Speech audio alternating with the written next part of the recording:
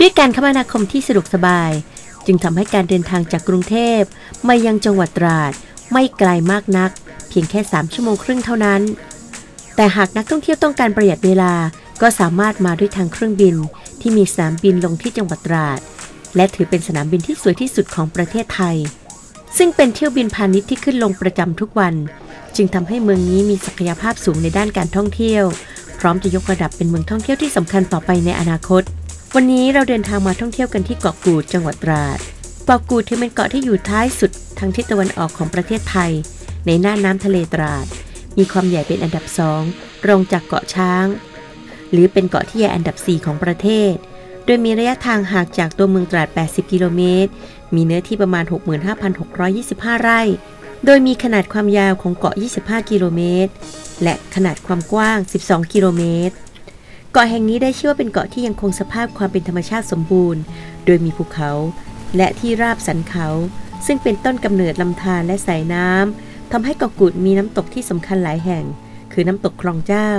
จะมีน้ำไหลตลอดทั้งปี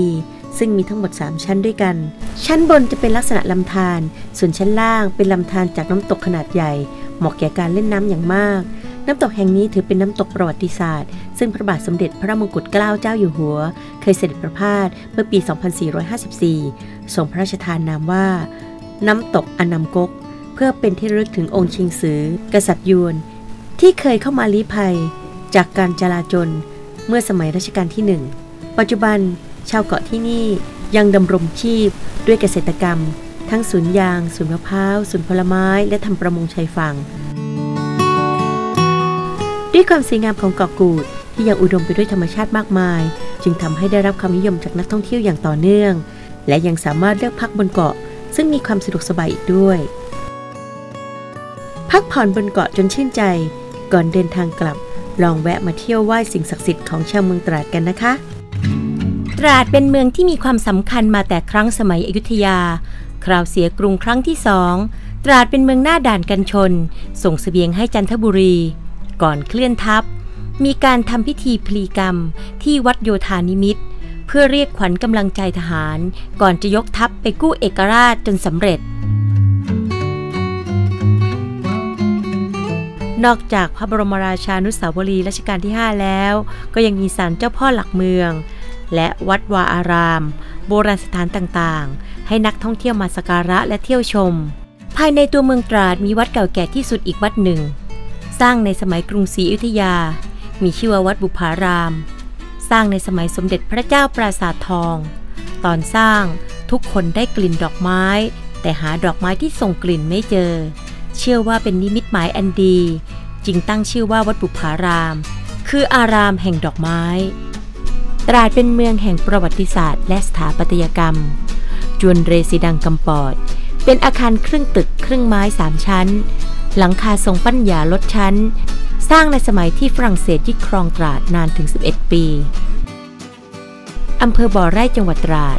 โด่งดังไปทั่วโลก ในเรื่องของทัพทิมสยามและโกเมน จังหวัดตราดจึงได้ทุ่มทุนกว่า 30 ล้านบาท สร้างศูนย์การท่องเที่ยวเมืองอัญมณี และศูนย์การค้าพลอยขึ้น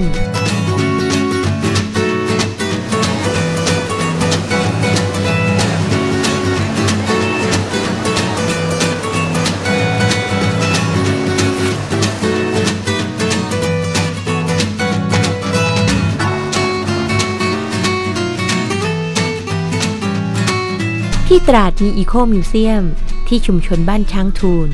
เป็นชุมชนเกษตรกรรมที่มีอาสาสมัครตั้งเป็นกลุ่มพันธารักษ์ชุมชน สนับสนุนให้ลูกหลานในท้องถิ่น เป็นนักสืบสารวัฒนธรรมชอง ประตูท่าเมืองจอด เป็นอีกจุดที่ต้องแวะ ใครจะมาตราดต้องผ่านท่าจอด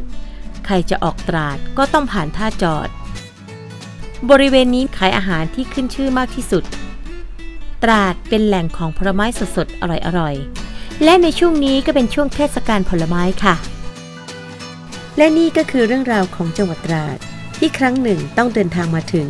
เพื่อสัมผัสความมหัศจรรย์ของเมืองนี้ ที่หลากหลายสไตล์หลายอารมณ์